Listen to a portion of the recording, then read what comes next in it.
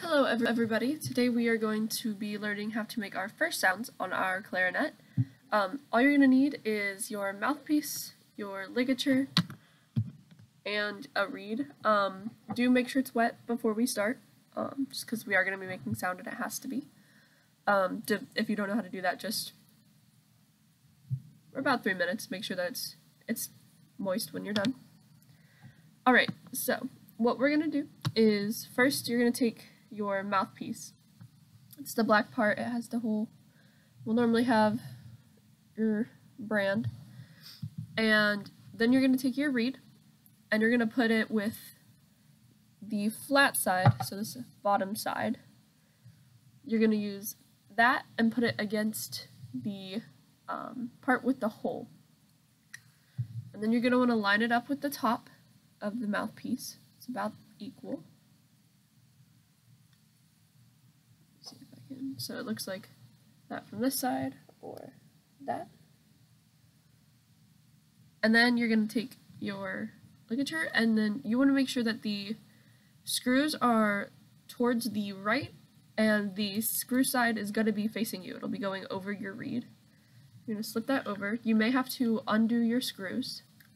Um, and you also kind of want to make sure your, your reed stays in place. You may have to adjust it a little bit.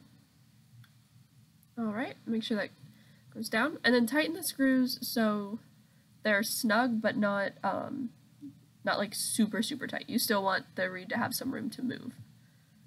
Alright, awesome. I'll give you a moment to finish that. Show you what it looks like.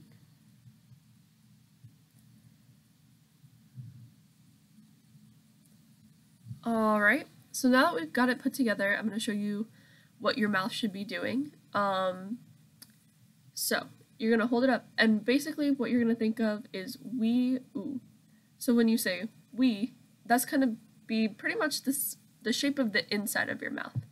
And then ooh is going to be your lips closing over. Um, keep in mind when we do this, we don't want the whole mouthpiece in our mouth. We just we just want a little bit. Um, but yeah, so you're going to go we, ooh.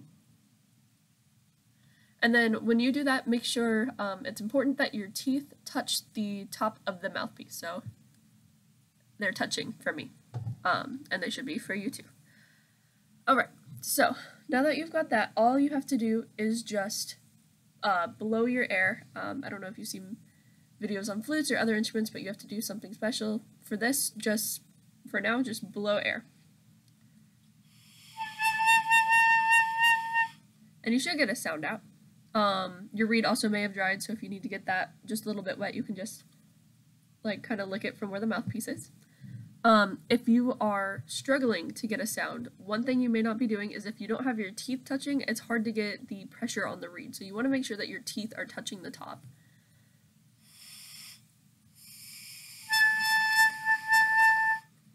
All right. And then if you, you also could have too much mouthpiece in, if you're getting like a super high, high sound, you could have too much. And then, let's see, what's another one? If you um, aren't putting enough pressure on the reed, it also will not um, vibrate enough to cause the sound you need um, that goes through the mouthpiece. So if you're not doing it, this is what it sounds like.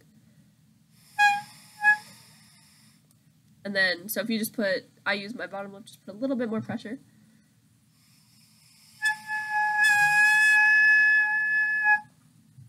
All right, there you go.